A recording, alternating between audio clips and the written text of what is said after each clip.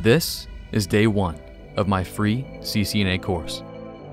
And a huge shout out to Boson Software, the official sponsor of this CCNA course. They are the reason this can be made available for free, so I highly encourage you to go check them out.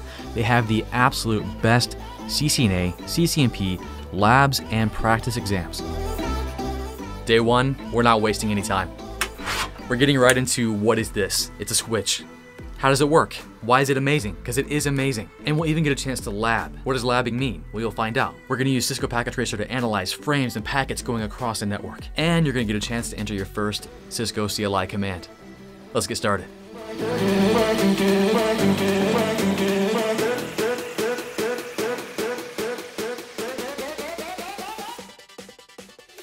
In my last video, we talked about what a network is, and we followed a Call of Duty bullet when I shot it from my computer, how it goes through my home network to my brother's network and shoots his character. And we went high level, like router, switch, firewall, access point, what are those things?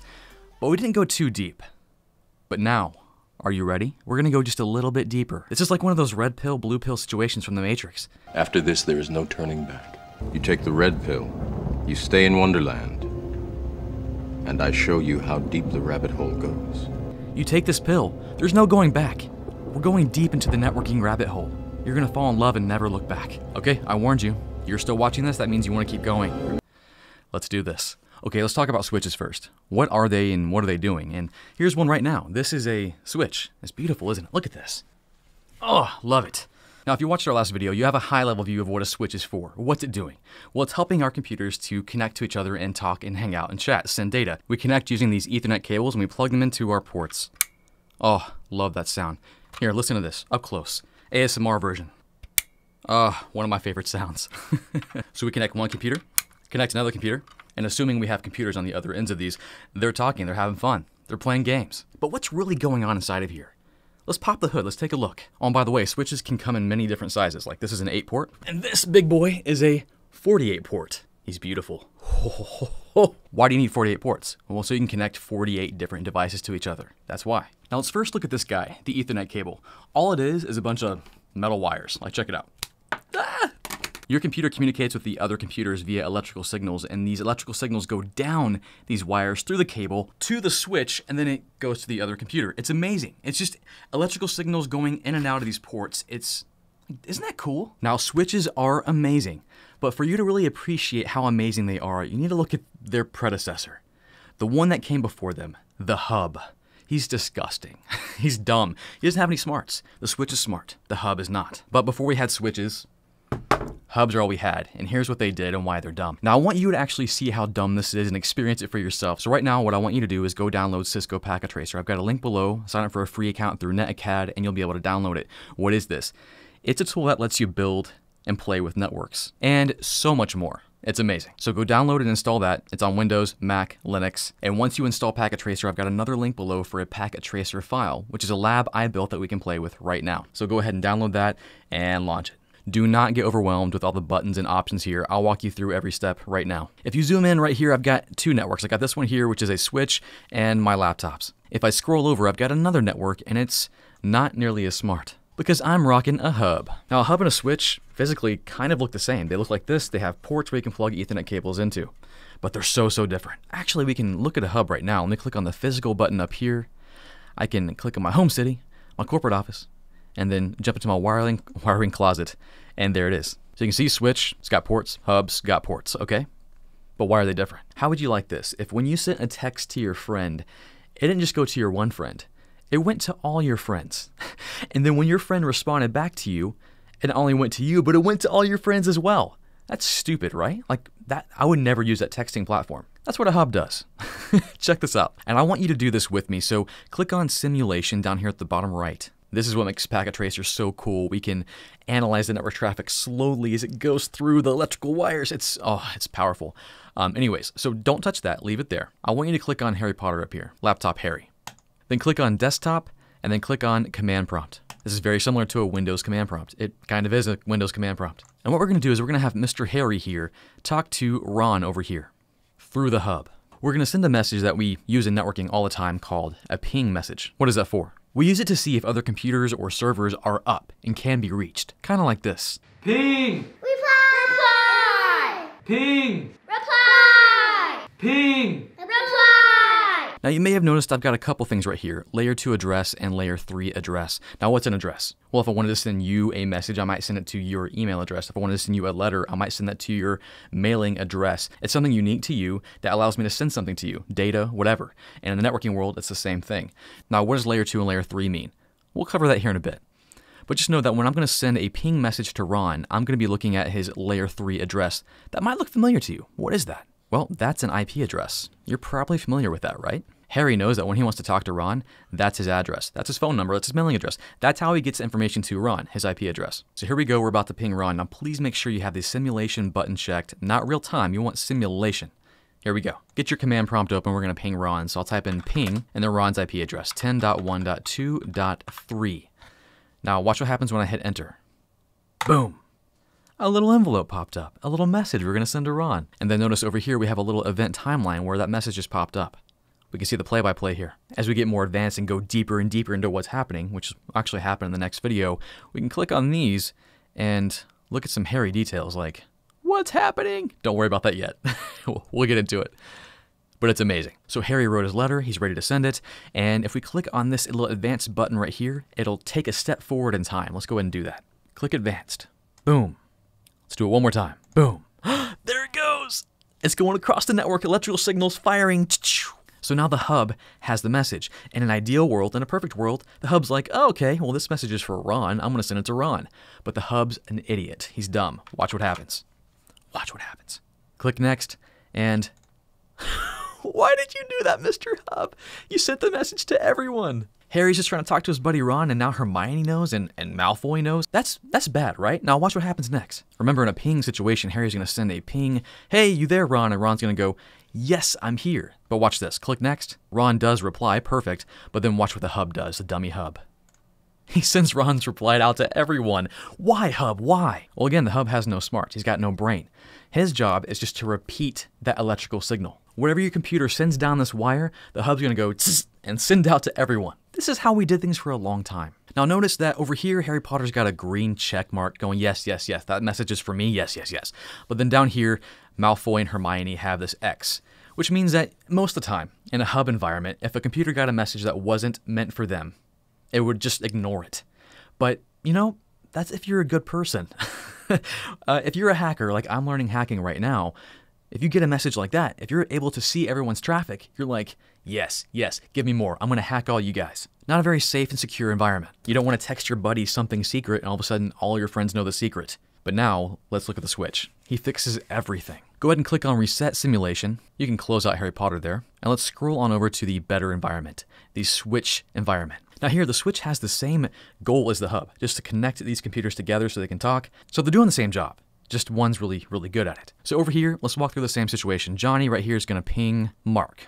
Oh, hi, Mark. And we'll see what happens, and I'll explain how it happens here in a moment. So go ahead and click on Johnny, click on the desktop tab, and then jump into your command prompt. We're going to type in ping, and then Mark's IP address right here is 10.1.1.2. We're going to hit enter, and bam, Johnny's got a message ready for Mark. Let's click on next and see what happens. Next. Next. Okay, there it goes. The switch has it. What's it going to do? Boom. so much better. Only Mark got it, and then when Mark responds, it only goes to Johnny. That's how it's supposed to work. Thank you, Mr. Switch. And if you look back at our command prompt, you can see that we sent a ping message and then we got a reply from Mark from the IP address. Everything's good. Mark's alive. He's like, hey, yeah, yeah, Johnny, I'm here. And if we click on real time, it'll just complete it like it normally should bam, bam, bam really fast. Because these electrical signals are going really, really fast down these wires. But that's what's cool about Packet Tracer. We can slow down time, bullet time, and watch it happen. Okay, we're about to go deeper. We're about to learn more about how this guy does things. Are you ready? Let's take a deeper look. The Switch can do all this magic because it has a brain. A brain that can remember things like, hey, on my port FA02, that's where Johnny lives. And on my port FA01, that's where Mark lives. And the same thing goes for Denny and, and Lisa and anyone else who connects to the Switch. He'll remember where they are. So when you send a message, he'll go, oh, well, I know exactly where Johnny is. He's over here. Port FA02. He stores that information in something called the CAM table, which stands for Content Addressable Memory. Don't worry about that too much right now. We'll cover a lot of that later. Now, the Switch doesn't know Johnny as Johnny. The Switch knows Johnny as 00D097528936. That's how the switch knows Johnny, his layer 2 address. That's how the switch knows Mark. He doesn't know Mark's name, but he does know 00E0B0590897. Love that guy. What are these things? That's called a MAC address, often referred to as a layer 2 address. Every single device that you connect to the internet has a MAC address. Every one of them. Like, go ahead and look. Get your laptop out. Look for it. Like on this phone here that I would connect to the switch. Look, right here. There's my phone's MAC address right there. It's often referred to as the burned in address because this address should never change. That's how your device is identified. It's unique identifier. So when I connect my phone to the switch and my phone tries to talk to somebody, boom, the switch learns, hey, that phone, which that phone's name is 9C57803844A, he lives on port 1. So if anybody wants to talk to him, it's going to be port 1. Now we'll cover more about layers here in a moment. I'm kind of building up to that. But this right here, doing this, and that wonderful, beautiful sound, yes, that's this is layer 1. Anything physical, the, the, the electrical wires, the metal wire that send electrical signals down into the switch, that's layer 1. So layer 1, electrical signals firing at light speed down an Ethernet cable, physical. And then we get to our switch, and now we're thinking about layer 2. And that's where our layer 2 address comes in. That's where the MAC address comes in. Layer 2 is often referred to as the data link layer, but we won't cover too much on that right now. I, I have to stop. I don't want to give you too much right now. Now, you may be wondering why isn't the switch just using the layer 3 address, like what we used? When we pinged 10.1.1.2, why doesn't the switch know Mark by that number? Well, the simple answer is that the switch can't even see that number. It has no idea what it is. You see, the switch is a layer 2 device and doesn't know anything about layer 3 or IP addresses or anything. That's why we're dealing with MAC addresses right now. Now watch this. Let's get back to our packet tracer. We're going to do a couple things here real quick. Let's click on simulation mode once more and let's open up Mark. We'll go to his desktop, go to his command prompt, and we're going to ping Lisa down here. So we'll do ping 10.1.1.5 and hit enter. The message was built. Now go and click the forward message real quick. And I want you to click on this, this message right here we have. Click on it. Now, as you can see, we have seven layers we're going to be talking about here very soon, but don't, don't think about anything above layer three right now. Don't think about that. But notice this message we're sending to the switch. Notice what's not there. Layer three is missing. It's just layer two because that's all the switch understands. And also notice the to and from. So right here we have the from, which is the MAC address of Mark over here. And then the to is to Lisa's MAC address down here. And if we go ahead and step forward in time, boom, the switch receives it. If we click on that message again, we see that the switch receives it and he knows exactly where to send it because he remembers where Lisa is. And then if we click on that button, bam, it goes to Lisa. Now, I'm not sure if I want to show you this yet. yeah, let's go ahead and do it. So cl click on that envelope right there. The message that just arrived to Lisa. You can see here that instead of just having layer 1 and layer 2, we now have layer 3 involved. Because that's a layer that Mark and Lisa are talking on, layer 3. You see, we pinged from Mark's IP address 10.1.1.2 to Lisa's IP address of 10.1.1.5. And then Lisa's sending out a message, see, out, to Mark at 10.1.1.2 from herself, 10.1.1.5. And then if we step forward in time once more, boom, we see this message go to the switch. But then if we open that message, oh, layer 3 is gone again. It's just layer 2, because that's, that's all the switch cares about is layer 2. And that's how he knows where things are. That's where devices are, based on their MAC address. Now go ahead and click on real time let that finish out. And we're going to jump into the switch's command line interface. And this might be your first Cisco command. Kind of exciting. So let's, let's open it up. What we're going to do is we're going to look inside the switch's brain. So go and click on him and jump to the CLI tab. this is a whole new world for you. Yes, okay. Now hit enter, and then type in enable, and hit enter. Now you should have a, a hashtag sign right there next to your switch. Here's a command I want you to enter show mac dash address dash table.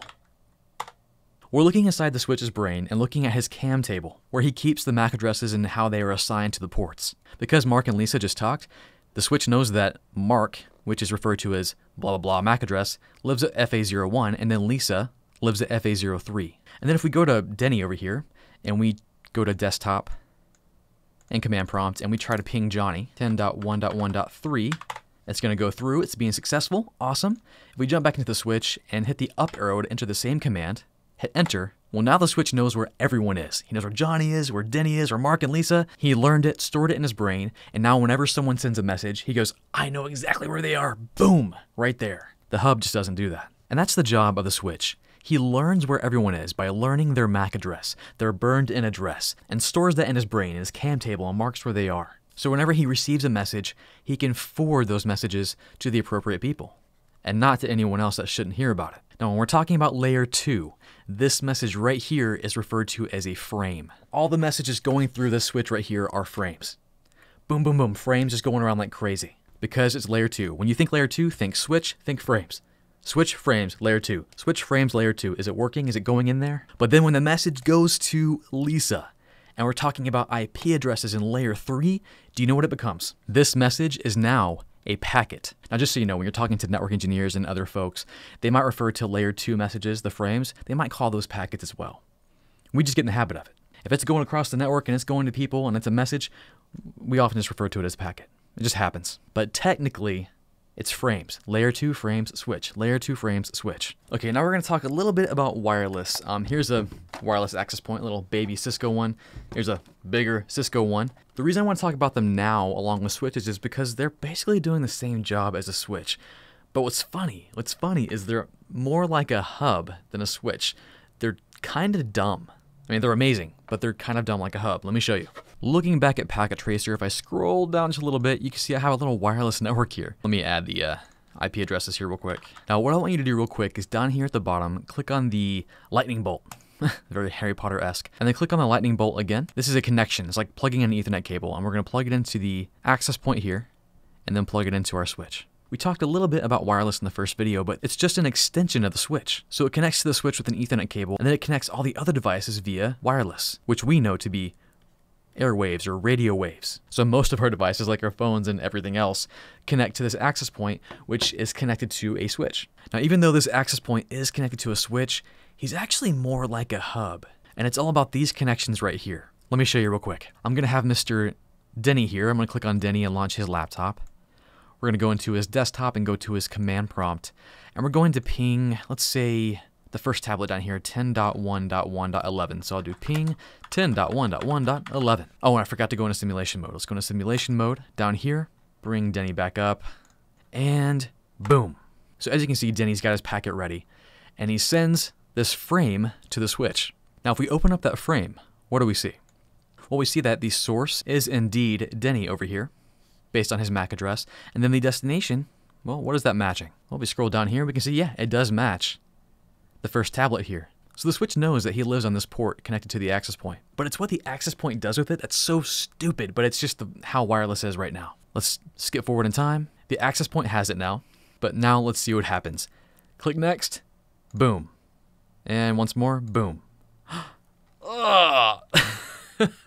the message was sent to everyone like a hub. Now, we'll cover wireless in more detail here later in this course, but just know for now, that's why people tell you plug into an Ethernet cable at all costs if you can, because a wireless connection is more like a hub. And the fact that all the messages are going to each device isn't the worst part. With hubs, it's just a, a traffic jam, collisions all the time, which is why switches are great, and we'll cover more on that later. But yeah, always prefer Ethernet cable, a hardline connection to a wireless connection if you can. Now, later versions of Wi-Fi, like Wi-Fi 6, do help out with this. I actually made a video on Wi-Fi 6 that you can check out up there. And then as we step forward in time, when the first tablet sends his reply back, the access point will then send it to the switch, and then the switch, like it's supposed to, will just send that to Denny. But then we have the same process happen again when Denny does send another ping, hey, hey, first tablet, are you there? The access point will still broadcast that out to everyone.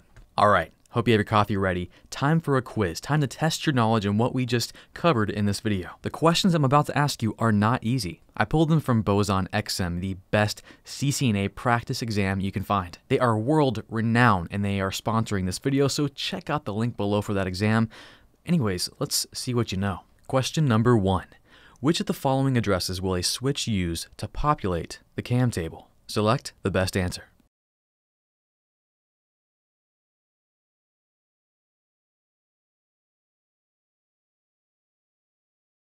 If your answer was B, source IP address, you are wrong because the answer is in fact D, source MAC address. Remember, switches, layer 2, MAC address, switches, layer 2, MAC address. Let's select our answer and get the deep down dive from Boson. So right off the bat, because we know we're talking about a switch in the CAM table, we can mark out A and B because those are talking about IP addresses. And the switch doesn't know anything about IP addresses. But what we're talking about now is MAC addresses. Now it could have been source or destination. A switch will learn a MAC address and add it to its CAM table when a device sends a frame to that port. And in that frame, the source MAC address will be this guy's MAC address. So that makes sense. Destination would be who he's sending that frame to, which might be a person over here. And you wouldn't want to add this guy's MAC address to this guy's port. Confusion. It wouldn't work. If you got that right, that's amazing. You're just a little bit closer to passing your CCNA. Next question. Which of the following addresses will a switch use to make forwarding decisions? Select the best answer.